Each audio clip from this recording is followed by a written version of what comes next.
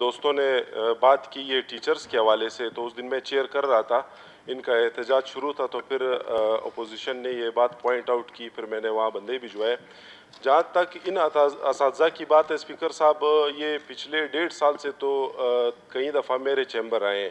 ان کا یہ مسئلہ کافی عرصے سے چلتا آ رہا ہے۔ اب ایسے حالات میں اگر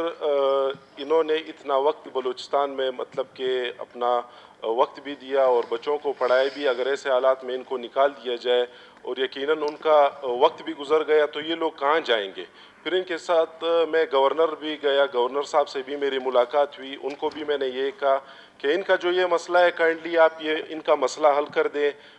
آٹھ دس دفعہ تو یہ میرے پاس آئیں تو ظاہر بات ہے اور لوگوں کے پاس بھی یہ کافی گئے ہوں گے۔ پھر جو پرسوں ہم لوگوں نے ان سے ٹائم لیا، جمعے کے دن کا آج کا اجلاس بھی تھا، پھر میں نے ایجوکیشن منسٹر کو فون کیا، ایجوکیشن منسٹر چونکہ آفیشیل وزٹ پر تھے اسلام آباد میں، وہ کرونا کی وجہ سے تو آپ کو پتہ ہے، پورے ملک میں کبھی وہ یہ کہہ رہے ہیں کہ اسکول بند ہے کبھی کھلیں، تو اس حوالے سے وہ اسلام آباد میں تھے، یہی میٹنگ کر رہے تھے کہ اسکول کھولنے کہ بند کرنے تو جیسے ہی منسٹر آتے ہیں، اس پر